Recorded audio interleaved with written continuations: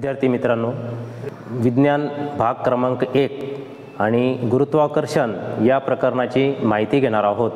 तर त्या संदर्भाने आपण या ठिकाणी बघणार आहोत की पूर्वी सोळाव्या शतकापर्यंत साधारणपणे ग्रहमालेमधील जे ग्रह असतील त्या ग्रहांची स्थिती आणि गती याविषयी काही माहिती उपलब्ध होती. त्या माहितीचा आधारे अभ्यास करून जर्मन शास्त्रज्ञ योहनस केपलर यांनी काही सिद्धांत मांडले. परंतु त्यांनी जे तीन सिद्धांत मांडले किंवा तीन नियम मांडले त्या नियमांचा आपल्याला आज अभ्यास करायचा आहे. परंतु त्यामध्ये एक कन्सेप्ट आहे तो असा की लंबवर्तुळ.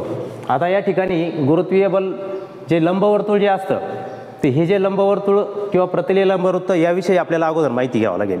आणि त्यासाठी प्रतलीय लंबवर्तुळ किंवा लंबवर्तुळ म्हणजे काय? ही शंकूचा आकार दिसतो बघा या ठिकाणी आपल्याला. तर या शंकूला एका तिरकस प्रतलाने छेदले असता तयार होणारी जी आकृती असते म्हणजे ही आकृती त्याला आपण म्हणतो प्रतलीय लंबवर्तुळ किंवा लंबवर्तुळ. आता ही लंबवर्तुळाचा उपयोग काय बघा? या ठिकाणी लंबवर्तुळ म्हणजे एखाद्या शंकूला एका तिरकस प्रतलाने छेदले असता तयार होणारी आकृती. आता या ठिकाणी यालाच प्रतलीय लंबवृत्त असं पण म्हणतात. ह्या लंबवृत्ताचं एक वैशिष्ट्य असं आहे की याला दोन नाभी असतात एफ वन आणि एफ टू ह्या दोन नाभी या ठिकाणी आहेत. त्याचप्रमाणे याच्यावरती ह्या प्रतलीय लंबवृत्तावरती आपण तीन बिंदू घेतले ए बी आणि सी तर ह्या ए या बिंदूचं जे ल नाभी अंतर आहे हे समजा ए एफ वन आणि ए एफ टू ह्या दोन्ही अंतराची बेरीज ही एक समान असते. त्याचप्रमाणे बी एफ वन आणि बी एफ टू याची बेरीज एक समान असते. तसंच सी एफ वन आणि सी एफ टू याची बेरीजसुद्धा एक समान असते. हे या प्रतलीय लंबवृत्ताचं वृत्ताचा गुणधर्म आहे.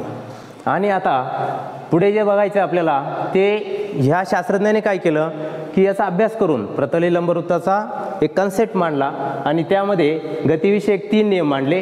त्यामधला पहिला जो आहे पहिला नियम तो असा आहे की ग्रहाची कक्षा ही लंबवर्तुळाकार असून सूर्य त्यातील एका नाभीवरती असतो. हा केपलरने पहिला नियम मांडला. मग आता या ठिकाणी आपण विचार करू की हा सूर्य आहे आणि हा सूर्य हे जे लंबवर्तुळाकार जे लब लंबवृत्त होतं त्याचा हा कक्ष आहे. ह्या ही जी त्याची नाभी आहे आणि ह्या एका नाभीवरती सूर्य आहे. आणि ह्या पद्धतीने केपलरने पहिला नियम या ठिकाणी मांडलेला आहे. आता केपलरचा दुसरा नियम आपण बघणार आहोत की केपलरचा दुसरा नियम आहे ग्रहाला सूर्याशी जोडणारी सरळ रेषा.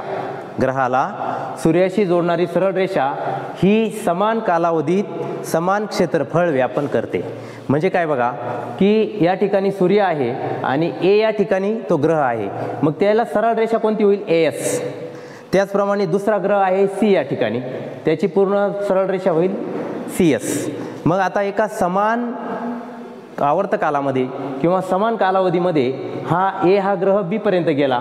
म्हणजे एक विशिष्ट कालावधीत समान कालावधी म्हणू आपण त्याला. त्याचप्रमाणे सी हा ग्रह डीपर्यंत गेला. तो एक समान कालावधी म्हणू. या दोन कालावधीमध्ये ए एस आणि सी एस ह्या दोन सरळ रेषा समान अंतर किंवा समान क्षेत्रफळ व्यापन करतात. याचा अर्थ असा की ए एस ही रेषा बी एस एवढं अंतर व्यापन करते आणि सी एस ही रेषा डी एस एवढं समान अंतर व्यापन करते.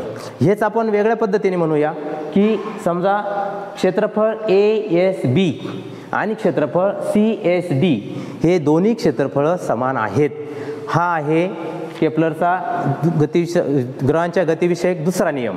आता आपण बघणार आहोत की केपलरचा गतिविषयक तिसरा नियम. आता ही जी ह्याचे दोन आपण नियम बघितले याच्यापुढे जाऊन केपलरने असं सिद्ध केलं की सूर्याची परिक्रमा करणाऱ्या ग्रहाच्या वर वर ग्रहाच्या आवर्त कालाचा वर्ग काय?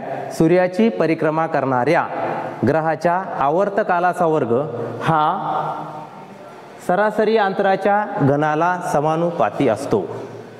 बघा आणि ह्या पद्धतीने मग एक आपल्याला सूत्र मिळालं टी वर्ग कॅपिटल टी हा जर आवर्त काल असेल आणि आर ही ग्रह आणि सूर्य या दोघांमधील सरासरी अंतर असेल आणि सरासरी अंतर अंतर ते आपण आरने दाखवलं तर या ठिकाणी टी वर्ग आणि आर घन हे एकमेकाला समानुपाती असतात. हे आपल्या लक्षात येतं. आणि हे अल समजा या ठिकाणी समानुपातीचं चिन्ह आपण काढलं तर या ठिकाणी टी वर्ग बरोबर के आर घन हे आपल्याला गणितीय समीकरण मिळतं. आणि पुढे आपण जेव्हा केची किंमत काढतो के हा स्थिर असतो लक्षात घ्या. जेव्हा आपण समानुपाती असेल व्यस्तानुपाती असेल त्यामध्ये आपण हे जे चिन्ह काढतो तेव्हा एक स्थिरांक येतो. या ठिकाणी तो स्थिरांक आहे के. आणि मग केची किंमत आपल्याला मिळाली मिळाली टी वर्ग छेद आर घन. आणि अशा पद्धतीने आपण या ठिकाणी तीनही केपलरचे नियम बघितलेले आहेत.